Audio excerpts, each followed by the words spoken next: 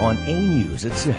Canada Post workers have put us on notice they could strike as early as Thursday. I definitely need the mail. I'd be disappointed and worried. I don't think it's very relevant just because everything's online right now, so it wouldn't, I don't know, it wouldn't affect me that much. A major change is coming to A. Coming up, we'll tell you what it is and why it's said to be very positive news for your local station. Those stories tonight on A News at 6.